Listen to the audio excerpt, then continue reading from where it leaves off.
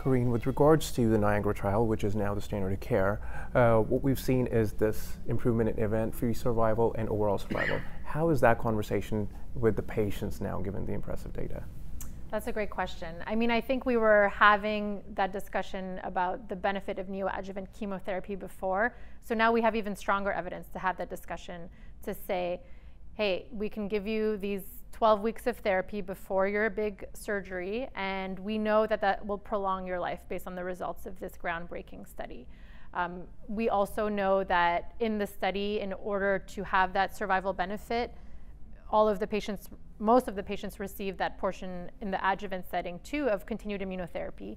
We know that the side effects in terms of long-term serious side effects from this therapy are very low. I think there were very few grade three, four immune-related adverse events. You know, the most common side effects were things like thyroid issues, rash, dermatitis. There was quite a low rate of other serious immune-related adverse events like myocarditis, hepatitis, other things like that.